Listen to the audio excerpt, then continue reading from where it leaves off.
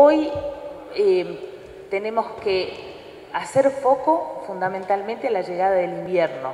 Por eso estamos buscando completar aquellos elementos que faltan para la conexión de gas, por ejemplo, no solo en las instituciones, hoy estaba mirando que tenemos los merenderos, sino también la, conexión domiciliaria de gas. Ustedes saben que en distintos barrios estamos avanzando con la red y a veces llega la red hasta la puerta de la casa y los vecinos tienen dificultades para llegar a hacer la conexión. Eh, busquemos eh, todos los mecanismos para acercar esa solución cuando ustedes conozcan esa necesidad o cuando la tengan en el propio hogar.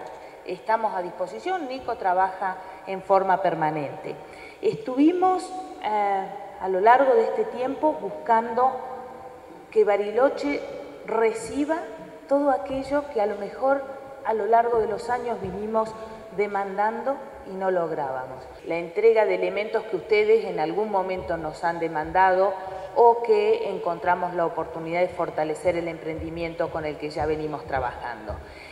Junto con este apoyo institucional a cada uno de los grupos en los que ustedes trabajan, con los que ustedes participan, también estamos en obras más grandes, necesarias, buscando solucionar todos aquellos problemas que venimos planteando. La verdad que eh, llena de, emoción estos momentos donde podemos acompañar a las instituciones con las que tanto trabajamos desde la delegación, clubes de fútbol, equipos deportivos, eh, comedores comunitarios que mm, a lo largo de la, de la gestión hemos trabajado mancomunadamente con cada uno de ellos a lo largo de todo Bariloche.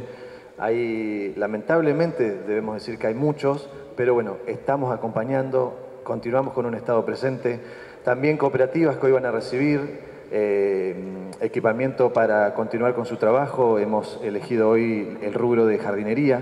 Después hay entregas para murgas y comparsas que la comisión, hemos eh, acordado con la comisión, un trabajo que se viene haciendo desde la jefatura de gabinete, eh, elegir a cuatro hoy para continuar después con, las otras que, quedan en camino.